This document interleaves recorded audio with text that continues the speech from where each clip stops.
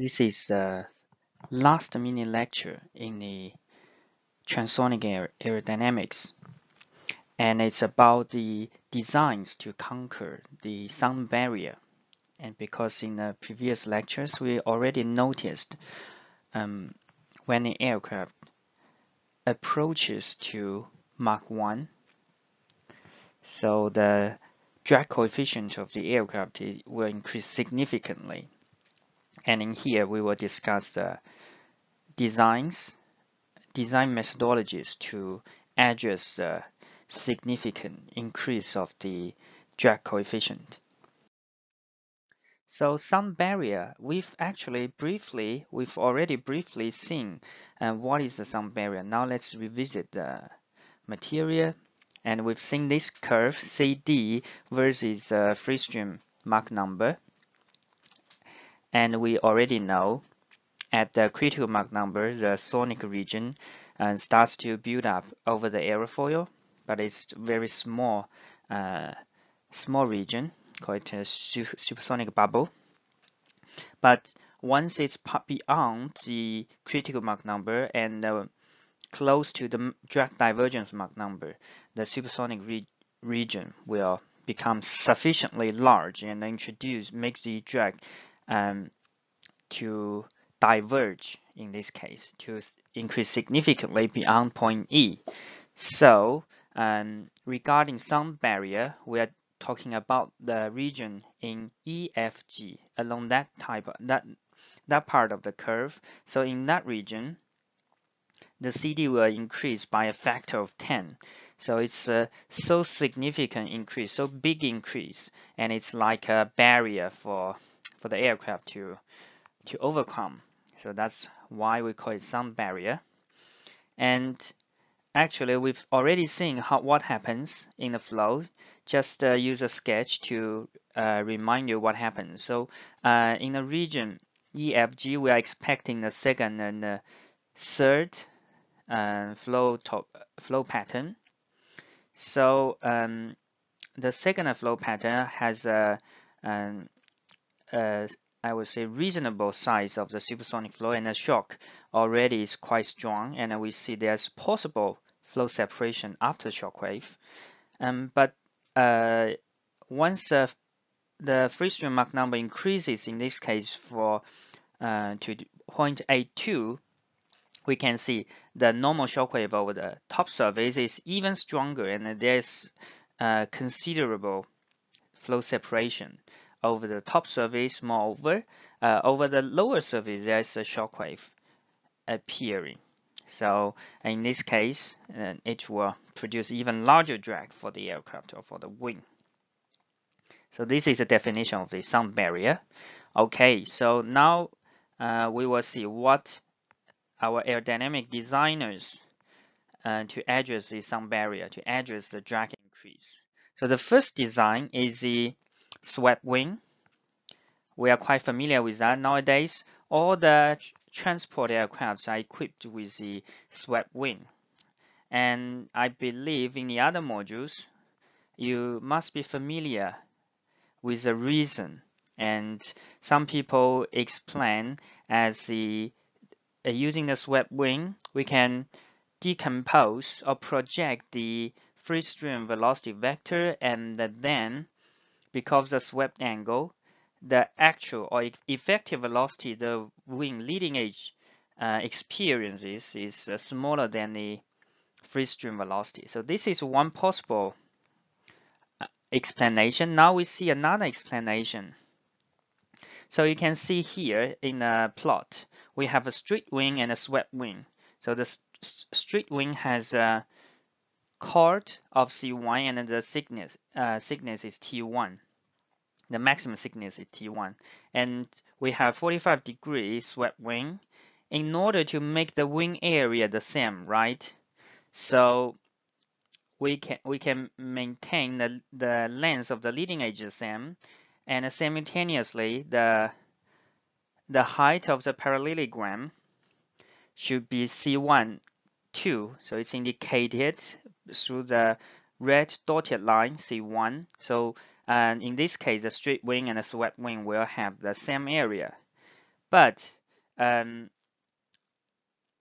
the the other chord C2, which is a chord along the uh, fuselage or streamwise direction, C2 is square uh, is 1.41 times of C1 because it's 45 degree and C2 is equals square root 2 times C1 so it's longer.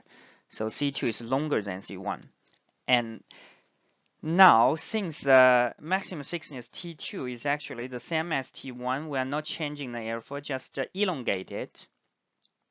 So what we can say is a ratio of thickness uh, with respect to C1 and becomes smaller for the swept wing because the denominator becomes larger. Then the swept wing effectively has a thinner airfoil compared to the straight wing. Is that right? So we already know from the earlier lecture that a thinner airfoil has a larger critical Mach number. So this helps to alleviate the um, the drag increase for the transonic flight. So showing here is, uh, I think, a World War II um, aircraft. So it has equipped with a swept wing to address the uh, drag increase issue. Okay, so for swept wing, uh, we take uh, this is for the swept wing. The second design is area ruling. Perhaps this is not so familiar to us. And let's see what's what's the area about? What's the area? Since it, the title is about area ruling. And where's the area? Okay, so before we introduce the area ruling, ruling and we can see the evolution of aircraft design. And the left one is uh, North America F86, and the right one is from the same manufacturer F106. Apart from the wing, uh, if we focus on uh, fuselage, can we uh, distinct find the spot the differences? I give you one second. Right, so the fuselage for the left one is quite straight, but for the second one, you can see there is a bit narrowing. Um, one's in the middle and then expand slightly. So that's a difference.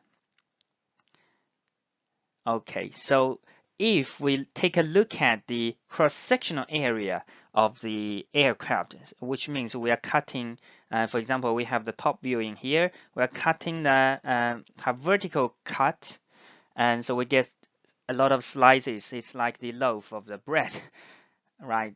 Okay, so we can see some uh, indications in here.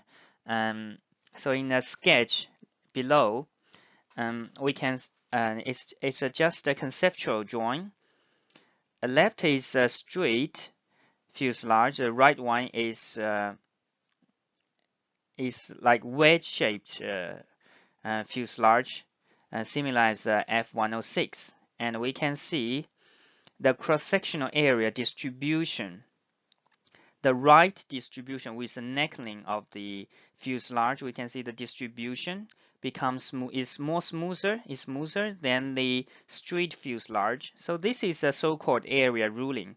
And the area ruling is to maintain the smooth transition of the cross-sectional area distribution.